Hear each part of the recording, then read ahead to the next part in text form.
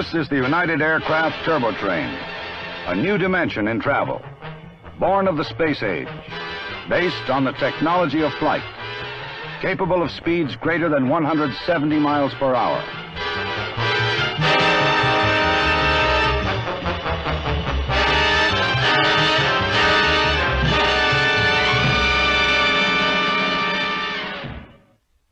The turbo train was created to help solve the growing problem of getting from the downtown area of one city to that of another, quickly and in comfort. The turbo train was conceived and designed by United Aircraft Corporation, one of the world's leading aerospace firms. The train is being developed and marketed by the Sikorsky division of that company. The company put more than two years of research and engineering into the gas turbine powered, fully articulated aluminum train before construction was started. This 17 foot model, for example, was extensively tested in a wind tunnel to prove out the aerodynamic design of the turbo train. The heart of the turbo train is an aircraft type gas turbine engine, the ST 6, produced by United Aircraft of Canada Limited. This is a full-scale model of the engine, which weighs about 300 pounds, but can produce more than 500 horsepower. The operation of the gas turbine engine is basically simple. Air enters here. It is compressed in this section. Fuel is injected and burned with the air here. The result is a highly energized, rapidly expanding gas. The gas is directed through a free turbine. The free turbine is spun at a precisely controlled speed by the gas, similar to the operation of a windmill. The spinning turbine produces the power to turn the shaft that drives the train's gears. The gas turbines in the turbo train are fully developed and are members of the world-famous Pratt & Whitney aircraft family of engines. In the aircraft version, the engines power a number of turboprop planes and helicopters.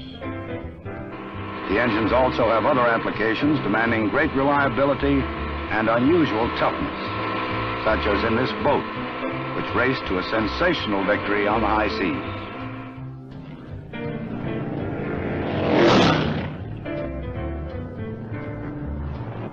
And the turbo car, which recorded such an extraordinary performance on the racetrack.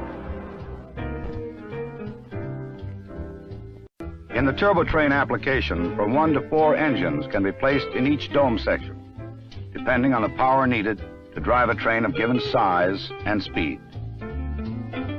Three engines are used in this schematic of the propulsion system. Shafts from the engines power the right angle gearboxes. The right angle gearboxes can receive power from two engines in tandem. Power from all the engines in a power dome car is funneled into this mechanism, the center mixing gearbox.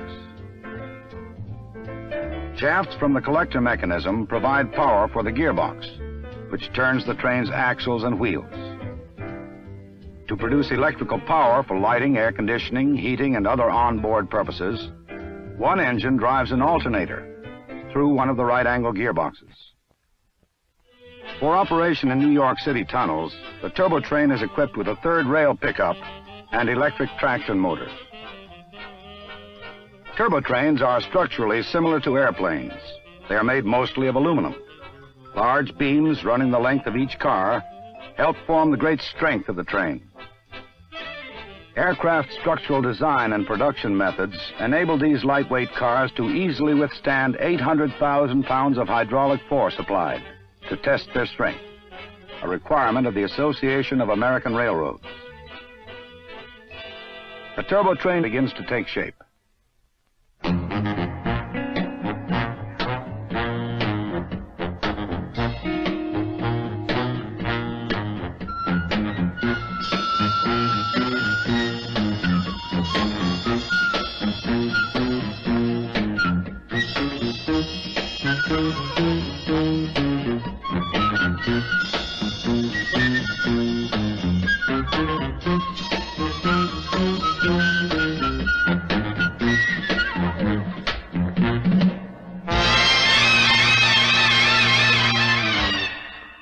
Turbo train is ready for its first test run.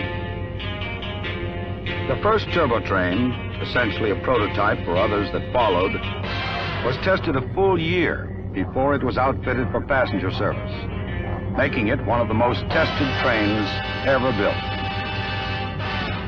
The speed of the train was increased in increments until a top speed of 170 miles per hour was achieved. Brakes were tested again and again. Emergency stops were simulated. Brakes were purposely punished more than they ever would be in regular service to prove out their consistent reliability. Ride quality was tested extensively on both welded and jointed rail. The ride quality was carefully measured with the latest equipment. One of the major engineering innovations that contributes to the turbotrain's smooth ride is the suspension system. Instead of two axles at the end of each car, the turbotrain has a single axle between two cars, greatly reducing weight and friction. The new system enables the train to round curves with passenger comfort and safety at speeds up to 40% greater than conventional trains. The system is mounted on guided axles which follow tracks around curves. This model demonstrates the difference between a conventional car, shown here, and the turbo train. Note first the difference in the height of the cars. Passengers sit about a foot and a half lower in the turbo train than in a conventional car. The center of gravity of the turbo train is much lower than that of a conventional train.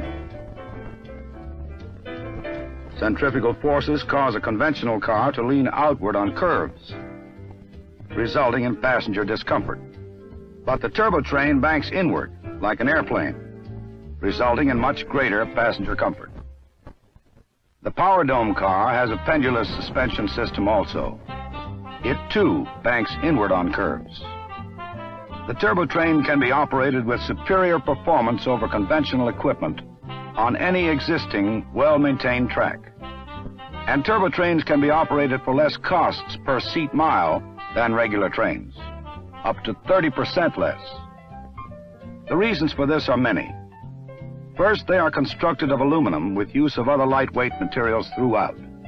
They weigh less than half the weight of conventional diesel-powered trains. This means they require much less horsepower, even for much higher speeds. Higher average speeds also help save money. Initial top speed for passenger service is about 120 miles per hour. This greater top speed, plus faster curve speeds, and faster acceleration and braking, permit much greater utilization of the equipment. Another feature is easier maintenance. The turbo train was designed to be maintained like an aircraft. At scheduled intervals, wearing parts such as engines, air conditioners, and wheels are quickly replaced with spares and repaired in the shop so the train doesn't have to be taken out of service for long periods of time. Still another feature which helps in the overall economics of the train is its bidirectional capability. Each turbotrain has two power dome cars, one at each end. One car pushes, another pulls. Turbotrains do not have to be turned around, thus saving switching costs and time. The streamlined front of the power dome car is actually a nose door, covering an automatic coupler enabling multiple unit operation of two or more trains.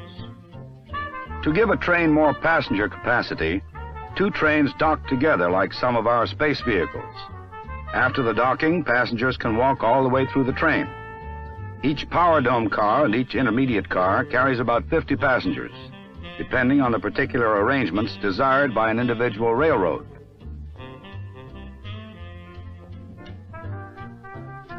The interiors are luxurious, like those in the first class section of a jetliner.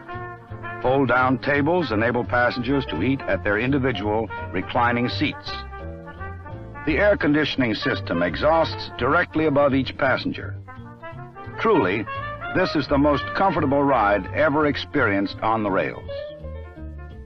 Turbo trains have been assigned to operate between Boston and New York on the New Haven Railroad. In a demonstration of high-speed ground transportation, sponsored by the United States Department of Transportation. The Boston New York Turbo Train schedule is 3 hours and 15 minutes with four intermediate stops, a reduction of one hour from previous best schedules. Canadian National Railways ordered turbo trains for operation between Montreal and Toronto. The passenger service offered on this run is said to be the finest and most luxurious in the Western Hemisphere. Canadian National's turbos reduced this run from 4 hours and 59 minutes to 3 hours and 59 minutes. Still further reductions are expected as operational experience is gained. In both the United States and Canadian programs, United Aircraft is providing the turbo trains under lease maintenance agreements. Unsurpassed in passenger comfort, swift, sleek, and smooth. This is the turbo train.